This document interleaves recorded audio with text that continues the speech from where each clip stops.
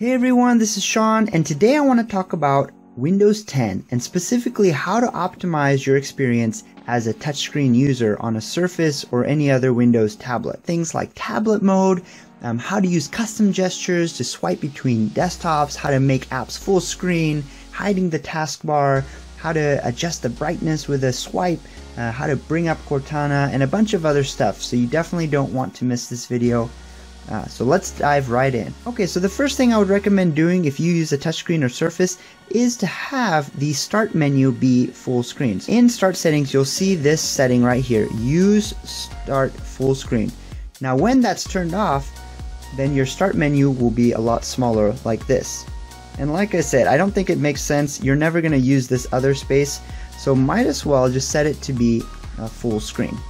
Okay, great. So now I have a full screen start menu. These three lines at the top bring up some of the other options that you can have.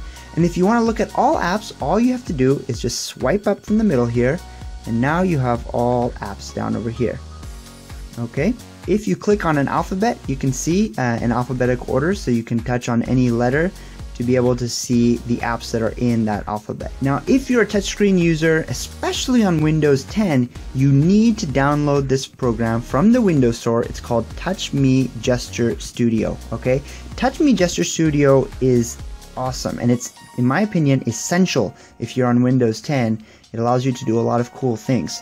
Alright, so do look at my video description. I include a link to TouchMe Gesture Studio. So in Windows 10, you have the ability to change your brightness here, but they only happen in increments of 25%. If you want something more continuous, you can set a gesture to slowly bring down the brightness and slowly bring up the brightness, just as if you're turning a knob. Okay, so you can see up here the brightness slider going up and down. Okay, and this makes it nice to really customize your level of brightness. Uh, the other thing really nice about Windows 10 is its ability to have multiple desktops.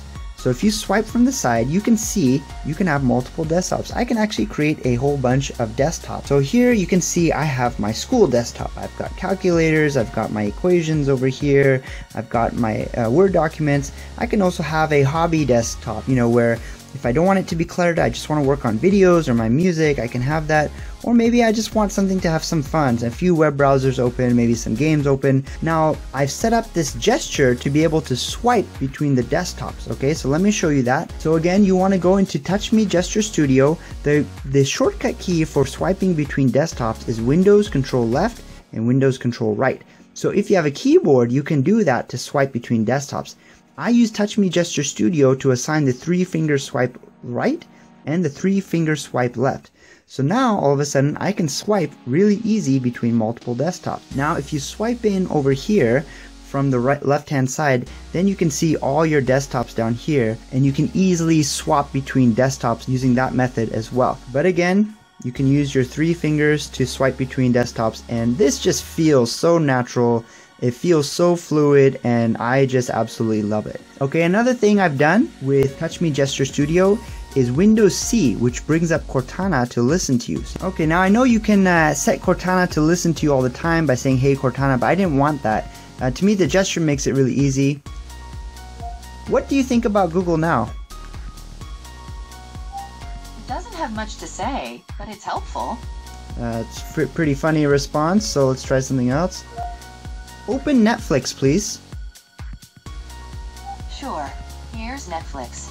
Great. So you can see you can open uh, apps. It can uh, you can answer, ask math questions, do anything on the fly, and having that gesture makes it really really fast. Something else I wanted to show you is that in some of these uh, older apps, uh, what you can do you know, when you expand it, make it full screen, you can uh, swipe down from the top, and you'll see this little uh, bar. Okay. And when you swipe down, you can see some other options. Uh, search, share, settings, app commands uh, will bring up the kind of the settings menu. So, so just to be aware of that, when your app is in full screen, you know, taking advantage of that little bar that comes down will allow you to have kind of greater control over that app. All right, now speaking of full screen apps, uh, the modern Windows 10 apps can be a little bit of a pain to use in full screen. So for example, here's the new Groove Music app that you can't actually make it so that it's completely full screen. Even in tablet mode, which I'm going to talk about more, in a second, uh, you can see that the taskbar is still down here. Okay, so watch what I'm about to show you. Three fingers swipe down. Boom, the taskbar is gone. I have a full immersive nice full screen. Alright, and then if I want the taskbar back, all I have to do is swipe down again, three fingers, boom, there's the taskbar.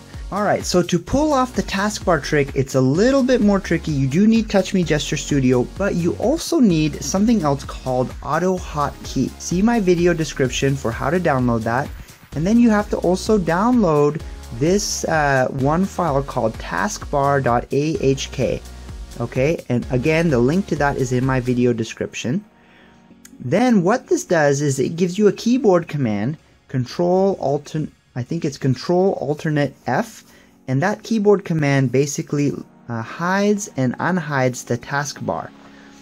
Alright, then you use TouchMe Gesture Studio to uh, make it so that the three finger swipe down, or really whatever you want it to be, uh, hides and unhides the taskbar. So if that seemed really complicated, don't worry. Just look at my video description and I explain everything there. Okay, the other thing I really miss about uh, Windows 8.1 is the ability to share from any screen. Now what I've done is I've assigned the five finger swipe left in TouchMe Gesture Studio to make that uh, share.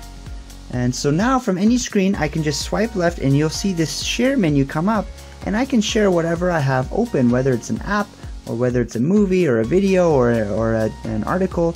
I can just go and then uh, share whatever I'm looking at. Okay, last and also in my opinion least is tablet mode. Okay, so let's go ahead and enter into tablet mode. Okay, so now we're in tablet mode. Now you can see the taskbar loses a lot of the apps.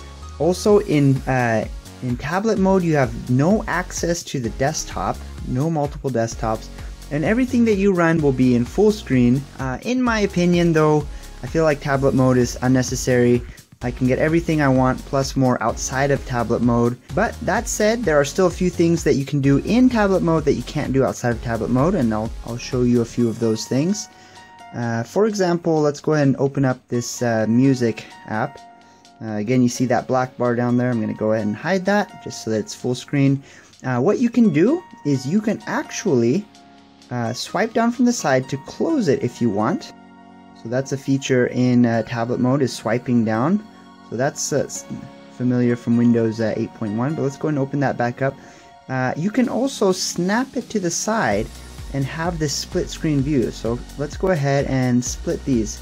So this again is a familiar interface from Windows 8.1 the ability to have this split screen view again. So this is something you can't get in desktop mode, you can only get in tablet mode. I said tablet mode was last, but actually there's one last thing I want to say. Uh, this is kind of old news, it's been around since Windows 7, but if you didn't know, you can actually swipe up uh, from some of these on the bottom uh, on the taskbar and it can show you, you know, recent files as well as some other options uh, that you might have access to. Okay, and that was it. Uh, if you found this video helpful, be sure to like this video. If you haven't already, be sure to subscribe. Thank you very much for watching.